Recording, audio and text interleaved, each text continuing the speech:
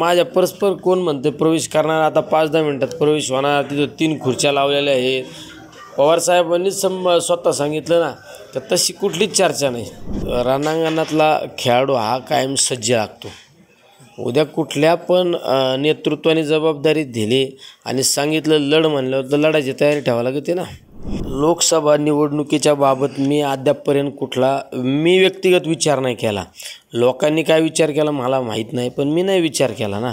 राष्ट्रवादीचे आमदार निलेश लंके हे शरद पवार गटात जाणार अशा चर्चा सकाळपासून माध्यमांमध्ये सुरू होत आहेत मात्र यावरती आता नेमकं निलेश लंके यांनी खुद्द खुलासा केला आहे. नेमकी काय भूमिका असणार आहे त्याबाबत आपण त्यांच्याकडून जाणून घेऊ आमदार साहेब सकाळपासून अशा चर्चा रंगल्या होत्या की आपण शरद पवार गटात जाणार आहात. आपली नेमकी भूमिका काय असेल? आता चर्चा हे माझ्या परस्पर आहे सगळ्या चर्चा चालू आहे.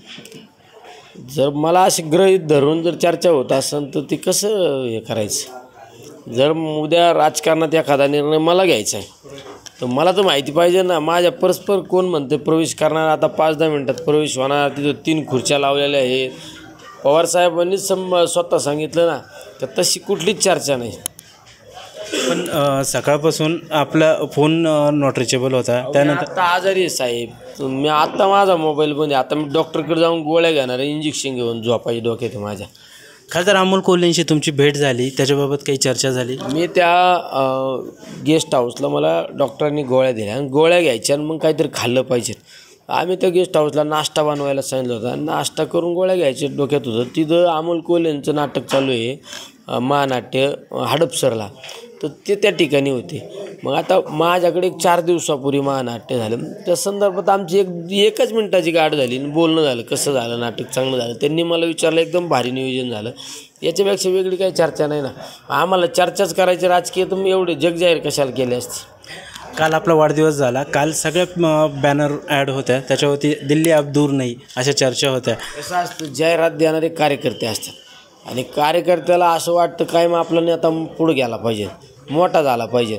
आता त्यांच्या जाहिरा मला वेगवेगळ्या पक्षाची माझे मित्रमंडळींनी पण माझ्या वाढदिवसाच्या जाहिराती टाकल्या. त्यांना काय वाटतं ते टाकलं त्यांनी. माझ्या याच्यावरून अधिकृत जर पोस्ट असते ना तर मग ती कुठंतरी काहीतरी त्याच्यात आहे बुवा. खासदार कोल्हेंनी बर्मांच्यावरून तुम्हाला एक जाहीर विनंती केली होती की तुम्ही लवकरात लवकर निर्णय घ्यावा आणि तुंतारी नगर दक्षिणेतून तुंतारी फुगावी. तसंच प्राजक्त तनपुरेंनी देखील म्हटले की निलेश लंके हे लवकरच आमच्याकडून उमेदवार असतील. एक तगडा उमेदवार म्हणून ते तुमच्या नावाचीच एक घोषणा करता येतं. प्रत्येक नेत्याला वाटत असतं आपला पक्ष वाढला पाहिजे आपली संघटना वाढली पाहिजे. त्या पद्धतीने प्रत्येकजण प्रयत्न करीत असतो ना. त्यामुळे त्यांनी आव्हान केलं. पण एकंदरीत असं चाललं आहे सध्या की एक महासांस्कृतिक नाट्य असो सांस्कृतिक महोत्सव असो या माध्यमातून लोकसभेची पेरणी चालली चार दिवस झालेला कार्यक्रम असो त्या माध्यमातून असं चर्चा रंगत होते की निलेश लंके हे भावी खासदार असणार आहेत. अं, लोकसभा लढवणार अशी चर्चा पूर्ण सामाजिक उपक्रमाला सगळ्यात जास्त महत्त्व देत असतो त्या सामाजिक उपक्रमाचा राजकारणाचा काहीच संबंध नाही. आमचं एक प्रतिष्ठान आहे. त्या प्रतिष्ठानच्या माध्यमातून आम्ही नेहमी सामाजिक उपक्रम करत असतो. तुम्ही पाहिलं असेल दरवर्षी नवरात्रात माता भगिनींना मोठा देवी देवदर्शन असू कुठं आमच्या शालेय मुलांसाठी शालेय साहित्य वाटप असू कुठं सायकल वाटप असू कुठं आरोग्याचे कॅम्प असू हे सोशल ॲक्टिव्हिटीज नेहमी चालत असतात.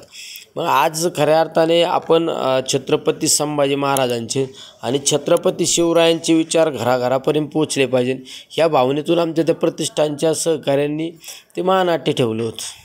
मात्र निलेश लंके हे स्वतः खासदारकीची सध्या तयारीत आहेत. आम्ही तर काही तयारीत नाही भाऊ अजून दिसत. आता तुम्हाला काय माझ्यापेक्षा वेगळं माहिती असेल तर मला नाही सांगता यायचं पक्षाने आदेश दिला तर निलेश लंके हे खासदारकी लढवणार का? कसं असतं रणांगणातला खेळाडू हा कायम सज्ज लागतो.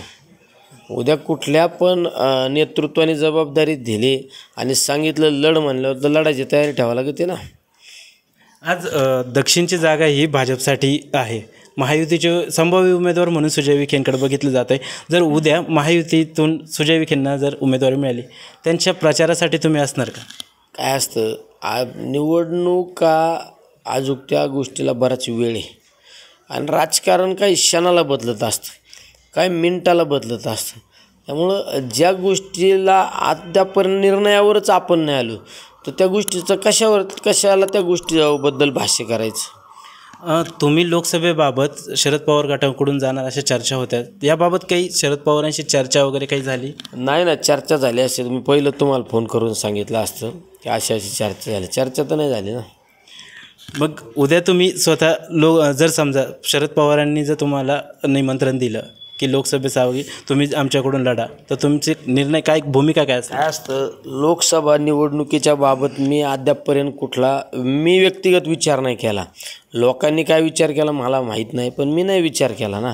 त्यामुळं ज्या गावाला जायचं नाही त्या गावाचा पत्ताच काय आला विचारायचा? पण आज अशी चर्चा सध्या आहे राजकीय राजकारणात की भाजपची दुसरी यादी अजून जाहीर झालेली नाही आहे विखेंना जर तिकीट भेटलं तर विखेंविरुद्ध लंके असा सामना रंगणार. चर्चा आहे. प्रत्येकाला जसं वाटतं तसं करतेच चर्चा लोक. जर उद्या विखेंना उमेदवारी मिळाली तर तुम्ही शरद पवार गटाकडून लढणार का? जसं लोकांना वाटतं तुम्हाला जसं वाटतं तसं चर्चा होत असती. असं चर्चा काय नाही होत असती. यो याला बोलला त्यो बोलला अशी चर्चा होत असती. पण ज्याला प्रत्यक्षरित्या ते कृतीत आणायचं ते तर काही बोललेलं नाही ना. ताईंचं बी नाव चर्चेत आहे. ताईंनी स्वतः बी उमेदवारी इच्छा व्यक्त केली होती की मी लोकसभा लढवणार आहे वगैरे. तर मग कसं पाहता येईल निवडणुकीला? मला बऱ्याच जणांनी विचारलं. मी आज संध्याकाळी अं, विचारितो नेमकी काय भानगडी. म्हणजे ताईंनी स्वतः जाहीर व्यक्त जाहीर वक्तव्य केलं होतं की मी लोकसभेबाबत इच्छुक आहे मी लोकसभा लढवणार. कसं असतं प्रत्येक कुटुंबात वेगवेगळे मतप्रवाह असतात. त्यामुळे जर असं कुठं भाष्य केलं असेल तर मला विचारावं लागेल भाष्य केलं का? आणि केलं असलं तर कुठल्या आधारे केलं? हे विचारून आपण बघू. हे होते निलेश लंके. निलेश लंके सध्या अद्याप तरी अजित पवार गटातूनच आहेत. ते शरद पवार गटात कुठेही जाण्याचा सध्या त्यांचा मानस नाही अशी ठाम भूमिका यामुळे त्यांनी मांडली. व्हिडिओ जर्नलिस्ट राहुल देवडेसोबत मी प्रवीण सुरोसे लेट्सअप मराठी अहमदनगर.